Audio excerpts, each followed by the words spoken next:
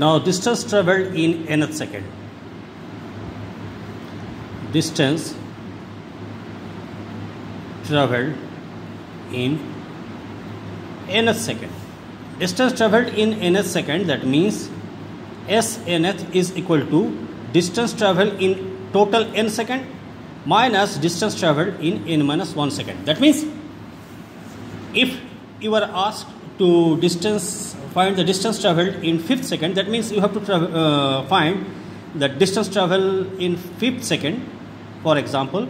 That means you have to find distance traveled in 5 second minus distance traveled in 4 second. This way we find the distance traveled in nth second.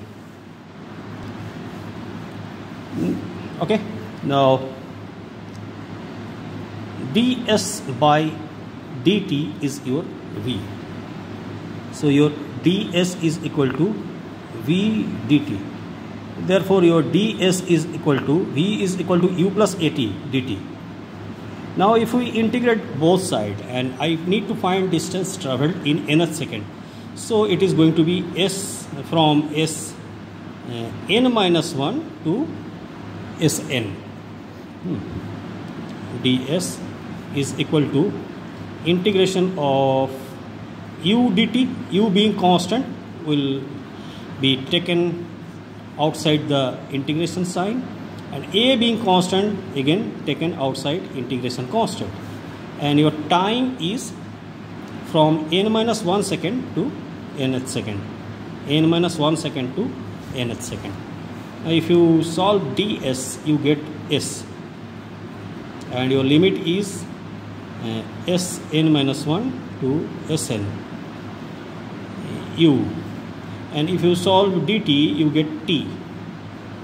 Your limit is n minus 1 to n plus a. If you solve d t dt so integration of t dt is t square by 2 so it is t square by 2 and your limit goes from n minus 1 to n second. If you put limit here it is going to be s s n minus 1 and u upper limit minus lower limit.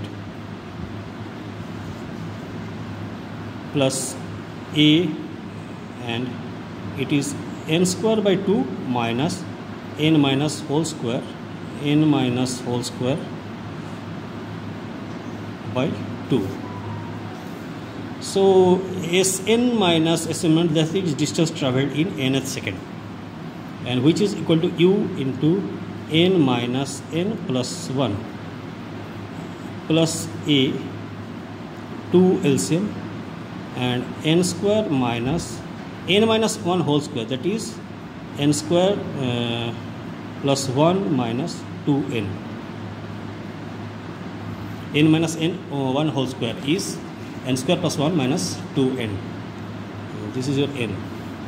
So distance traveled in nth second is u n n gets cancelled.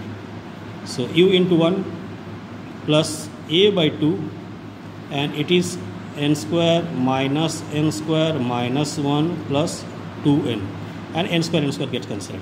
So distance traveled in your nth second is u plus a by 2 and it is 2s 2n minus 1 okay so this is your result